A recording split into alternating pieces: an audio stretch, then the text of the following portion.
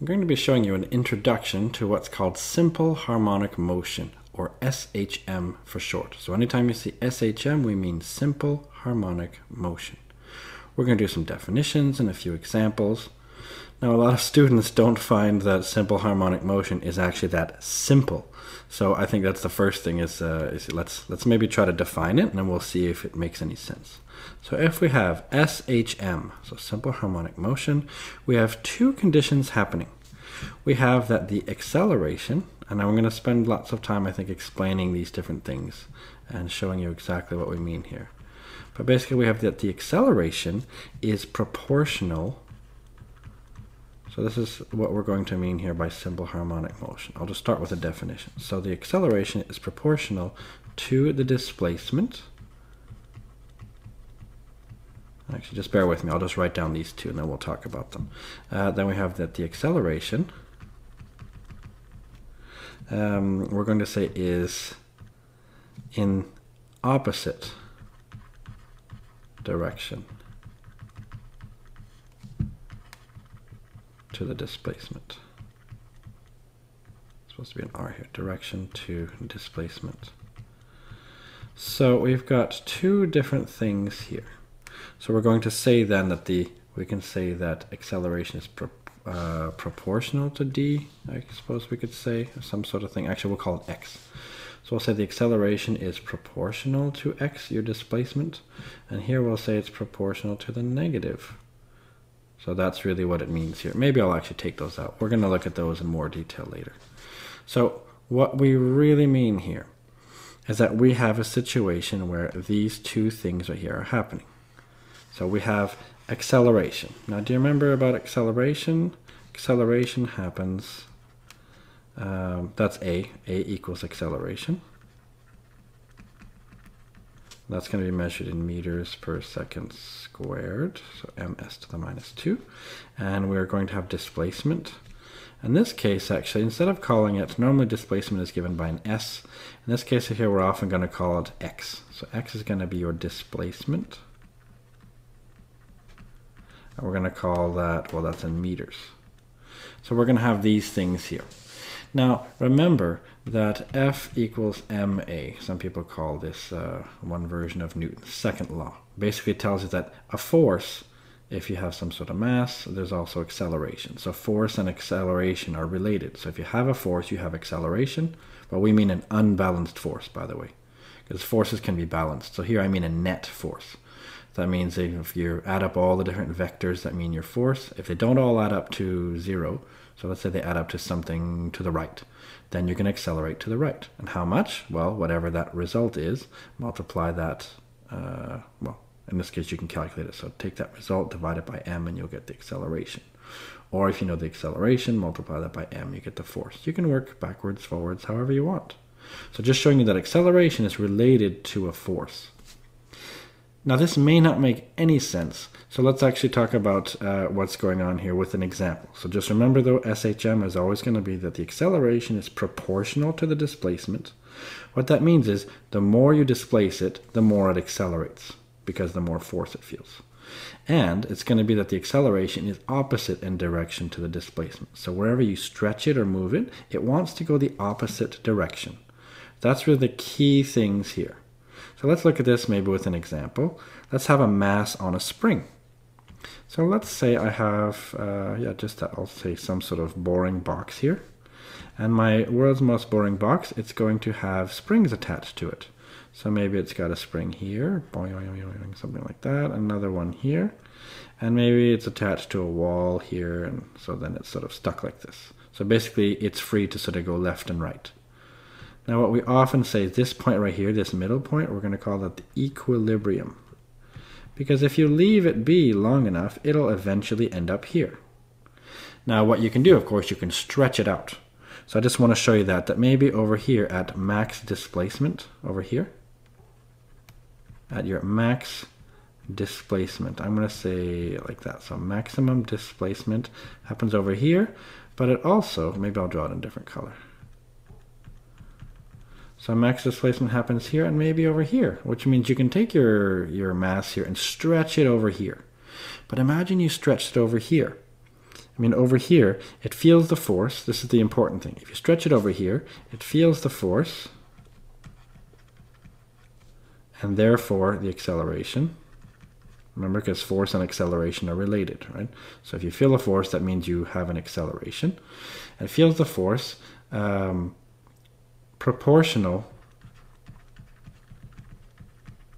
to the displacement. So in other words, if you take this thing and you stretch it, so you stretch it out to the left, then it feels a force that's, you know, the more you stretch it, the more force it feels. And it's opposite in direction. That's the other key thing here.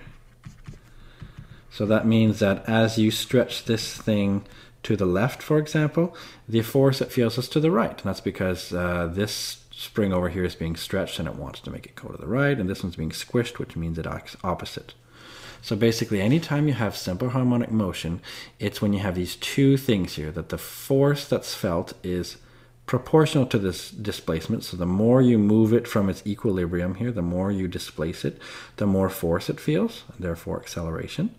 And it always wants to go opposite to how you stretch it or move it. So if you move it over here, it wants to go to the right. But if you move it over here, it wants to go to the left. It's like someone who can't decide what they want. They should always want the opposites. Uh, one of my friends uh, in university, he actually said it's like a girl, right? That you know, anytime uh, you ask them to do one thing, they do the opposite. That's a bit sexist and quite simplistic, of course, but uh, there you go. So this right here basically moves opposite in direction. I'm sure a lot of women could actually say the same thing goes for men. Uh, so let's not really generalize here. But in this case right here, these things are not like men or women. These are their own systems. Simple harmonic motion. You stretch it, it moves opposite direction. And the more you stretch it, the more force and acceleration it feels. That's a mass on a spring. We can also have a similar situation with a pendulum. So a pendulum, let's say we have some sort of string and then we have a mass at the end of it. So that's some sort of mass here. Now this thing, of course, we could move it over here, maybe. Or we can move it, you know, over here. And if we let it be, it'll actually sort of, it'll oscillate back and forth, won't it? You know, if you stretch it over here, it'll sort of go back and forth. Well, right here, that's the equilibrium. If you let it be long enough, it'll actually sit there. But over here, this right here is at its max displacement. And same thing happens here with this motion that the more you stretch it over, well, if you stretch it to the right, the force it's going to feel is more the more you move it to the right. So the further away to the right you move it, the more force it feels. So that's the first definition because its acceleration is proportional to displacement. So the more you displace it, the more it feels a force and therefore acceleration. And it also feels it in the opposite direction. That's the next definition. That means that if you stretch it over here and you let it go, which way does it go? It wants to go left. But if you stretched it to the left, which way does it want to go? To the right. See, it's always going opposite to how you move it. So that's why a pendulum is another really good example of simple harmonic motion. And in fact, uh, what you can do, I've got a little uh, animation here. This is another PHET animation with a pendulum. So we can actually see what happens here. So I can take this pendulum of this length and this mass, and I can sort of stretch it out to, I don't know, maybe let's say 30 degrees, and let it go. It can oscillate back and forth. In a, this is a not realistic situation because we're assuming there's no friction. In other words, there's no damping. What this means is that the oscillations always go to the left by 30 degrees, to the right by 30 degrees, left and right. How very relaxing. Now what we could of course do is try to measure how long does it take for this pendulum to actually do one whole period. In other words, how long does it take for it to go back and forth. I can do that with a little photo gate timer. I think I can add one here. We go. And I can take that thing then and say start. What it'll do is it'll measure the time it takes to go from one end to the other. In this case, let's say 2.8 seconds. That's because it was 2 meters long. What if I take that then and make it a lot shorter? What if I make it only, let's say, this much? And I'll do reset here. I'll still pull it out to 30 degrees. And I'll let it go. So this time, let's see how long it takes. Before it was 2.8 seconds. What is it this time? Now it's 2.14. So changing the length of this pendulum does something to the time it takes to go back and forth. By the way, um, changing the mass doesn't do anything. Uh, what's kind of fun about this one is you can actually do that with, um, you can actually see what happens if you're on different places. So for example, what if you're on the moon? Well, the moon has a lot less gravity. So because of that, there's less force. Therefore, it actually takes a lot less time. Or sorry, a lot more time to go back and forth. So it's like a slow motion version of the pendulum. That's kind of cool. And if you're on Jupiter, for example, with way more gravity, of course, then it goes quite fast. I think that's pretty fun. What if you're on planet X? Basically, what they allow you to do here is they don't tell you how much the force of gravity is, but you could figure it out. And they even say, what if you're on planet with uh, g equals zero, so no gravity? What would happen when you let it go? Nothing. Because there's no forces on it, it would just stay there. So if you're in outer space, for example, with a pendulum, this is what would happen. Pretty boring. So that's why, I mean, I think it's pretty cool with pendulums. You can actually do lots of different things.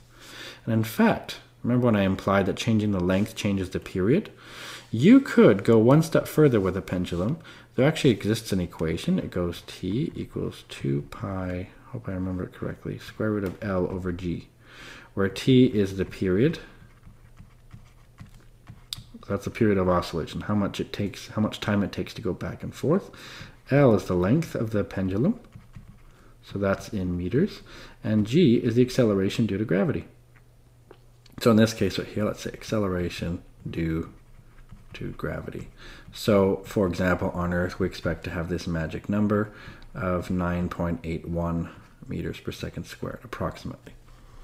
And what's kind of cool then is if you did that experiment, if you did a, an experiment by changing the length of a whole bunch of different pendulums and you measured the time it takes for them to complete their oscillations, just with that and doing a graph, you could actually calculate the acceleration due to gravity.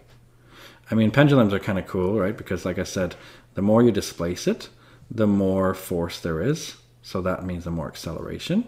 And also, uh, it's always opposite in direction. So that's why it's simple harmonic motion.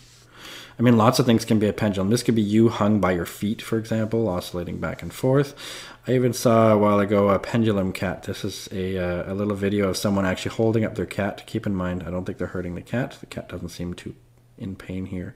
But they're basically, this cat could be a pendulum, which means if you had a whole bunch of different cats of different lengths, just by seeing this right here, you could, in theory, I suppose, calculate the acceleration due to gravity.